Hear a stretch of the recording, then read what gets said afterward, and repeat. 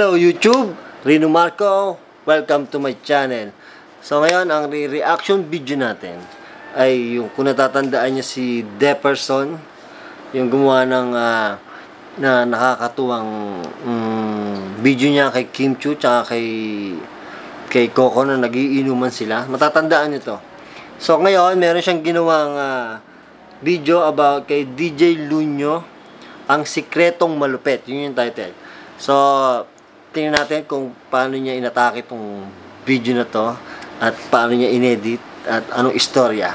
So, umpisa na natin.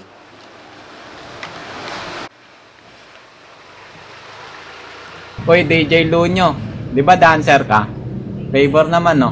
Ano? Sayaw ka naman, sample naman dyan, no? Isa lang.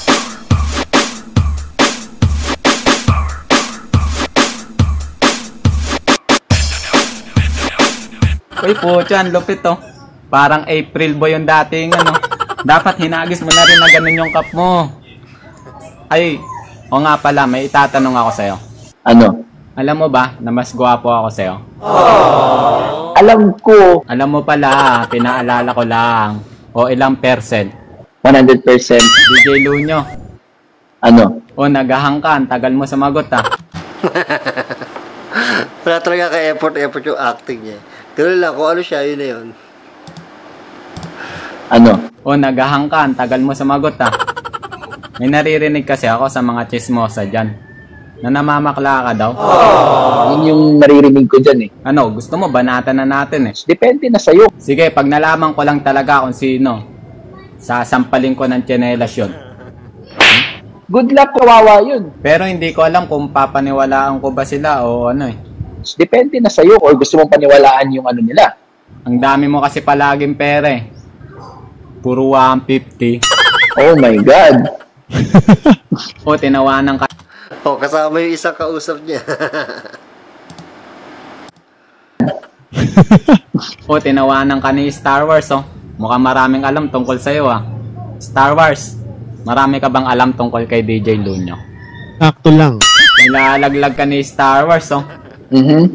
Anong masasabi mo doon, DJ Lunyo? Ang stupid. Oh, putik, di ba? Putik daw, patay tayo dyan, nagkakabukingan na. Pero yung naririnig ko na pinagchichismisan ka dyan ng mga chismosa.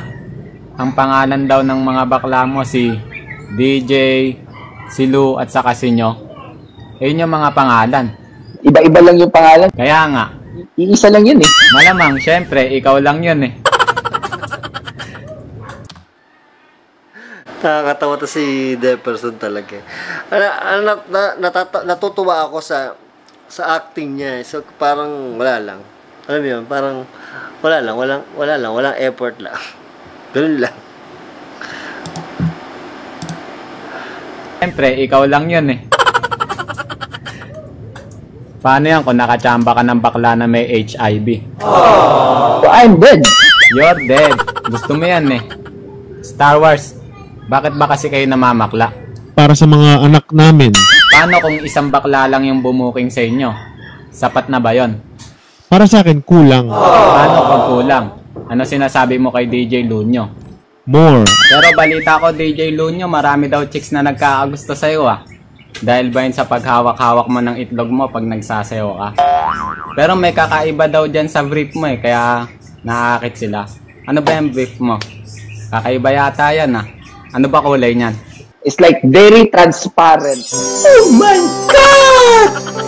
Wow! Pwede kaya to, baka ma-demonetize tong, tong video na to. Puro bakla naman to si Deperson ang usapan.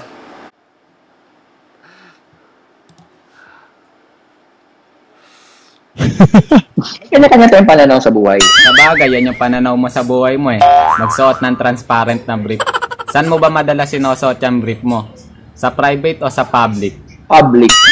Saan ba galing ang brief mo? Galing yun sa ibang bansa. Wow, big time. Galing sa ibang bansa. E di ang mahal niyan. Hindi naman. Ngayon lang ba nagkaroon yan o matagal nang merong ganyan? Yung, yung meron na talaga yun. O meron na pala talaga nun? Hindi ko alam ah. Uy, may mga nanonood sa atin. Hindi ka ba nahihiya nalalaman na nila? Anong sasabihin mo sa mga nanonood? Kung ano, kung ano nanonood ngayon, it's up to you. I'm just, I'm just you know, saying on my part, Sige, nasabi mo na yung part mo.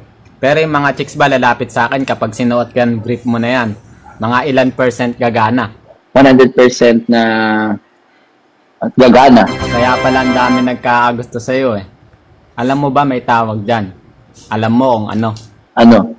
Sana all. Ay DJ Lunya, may sasabihin pala sa'yo si Star Wars. Ang dami na niya ngayong ano, ang dami na niya salita, puro salita.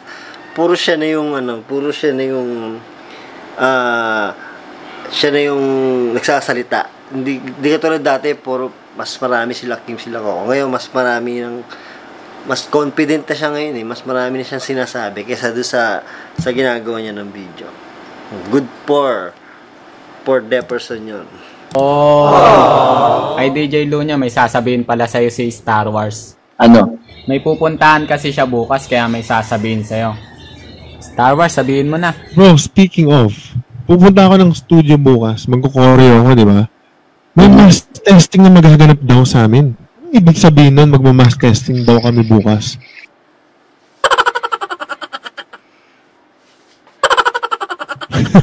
Nakakatakot, di ba, Kuya? I'm not taking that shit, man. Ikaw kasi, tinanong mo pa, hindi niya nga alam. Tinakot ka lang tuloy. Star Wars mukha kang adik. May alam ka ba na ginagamit ng adik? May mga aluminum, mga ganon. May mga ingredients din ba yon? O, yung mga ingredients nun, Ano? ang poison, O may poison na ingredients yon? Testing mo nga DJ Lunyo. Why would you test me? Para matesting natin kung may poison talaga. So, I'm dead. Anong masasabi mo pala sa mass testing? Yung mass testing, kawawa yun. Paano naging kawawa yung mass testing? Baka yung ima-mass testing yung kawawa. Gusto mo mag-inom? Ano yung papainom mo sa akin? Puro. Purong mantika. Ano pag may ininom ka na baso? Ininom. Galing yun? Meron pa talagang ganong Meron pa talagang ganong tatak ng puro mantika. Purong mantika. Ano pag may ininom ka na baso? Ininom na baso. Hindi naman ako umiinom ng baso eh. Sa baso ako umiinom. Hindi baso yung iniinom ko. I- i- iisa lang yun eh. Tanga, magkaiba yon. iba ba yun? Sumabat ka pa, isa ka pang tanga. Ano, DJ Lunyo, inom ka? Paano pag yung pa- papainom mo sa akin, magre-react ng medyo malala yung katawan ko? Okay lang yon, malala ka na eh. DJ Lunyo, may question ka ba sa akin? My question is, bakit ka magmamas? Nagmamas ako para safe. Para hindi ako mahawaan ng COVID-19 pag aalis ako. Eh ikaw, bakit hindi ka nagmamas? The more you wear the mask na nakaganon parati, ini, kumbaga parang ini-inhale mo yung sarili mong utot. Ha? Utot mo. Mag-toothbrush ka kasi baka sariling hininga mo na yun na Sinabi ba ni DJ yun? Hindi ko- Ngayon ko lang narinig yun ah. Sabagay, live stream nga pala yan. No? Malamang. Hindi ko Ini-inhale mo yung sarili mong utot. Ha? Utot mo. Mag-toothbrush ka kasi baka sariling hininga mo na yung naamoy mo. Ang pangit mong kausap, makauwi na nga lang. So, paano pag uwi mo ngayon? Paano pag uwi ko ngayon? Maglalakad ako pa uwi. Ay, wait lang. Alam mo ba yung kasabihan na wag na wag tayong magmamagaling? Lalo na pag wala tayong alam. Alam mo naman pala eh. Sayang ka. Dapat kasi nagsayaw ka na lang eh. Tara, sayaw na lang tayo.